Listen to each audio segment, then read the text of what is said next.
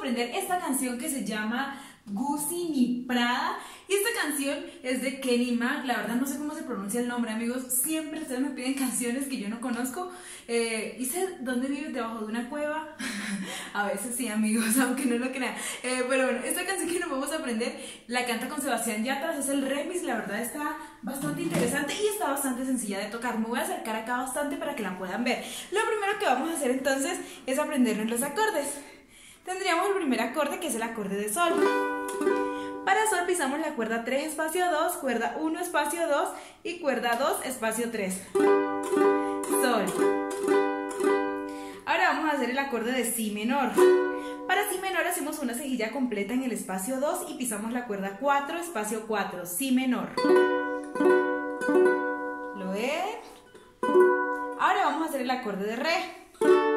Para re pisamos la cuerda 4 espacio 2, cuerda 2 espacio 2 y cuerda 3 espacio 2, re. Luego vamos a hacer el acorde de la. Para la pisamos la cuerda 4 espacio 2 y la cuerda 3 espacio 1, la. Y el ritmo sería... Entonces hacemos rasgueo hacia abajo, arriba, apago y abajo. ¿Listo? abajo, arriba, apago y abajo. Rápido sería...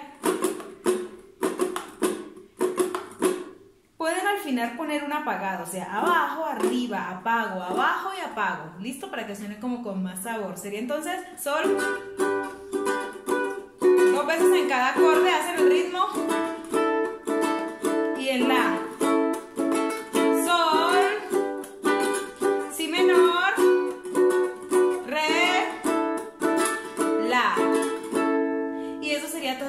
amigos. La verdad está bastante sencilla, así que espero puedan sacarla y poder escuchar sus versiones de ella. Eh, cuando las canciones son bastante sencillas, a veces yo como que digo, ¿será que es necesario hacer un tutorial? Pero luego muchas personas me la piden y por eso la comparto. Así que si ustedes tienen dudas, aclaraciones o demás, de todas maneras escríbanme a mi Instagram porque entiendo que muchas personas apenas están comenzando a tocar ese precioso instrumento. Así que para ellos es completamente nuevo y por eso de pronto piden un tutorial de una canción tan sencilla. Pero bueno, a mí me agrada compartirlo y pues que ustedes puedan sacar las canciones.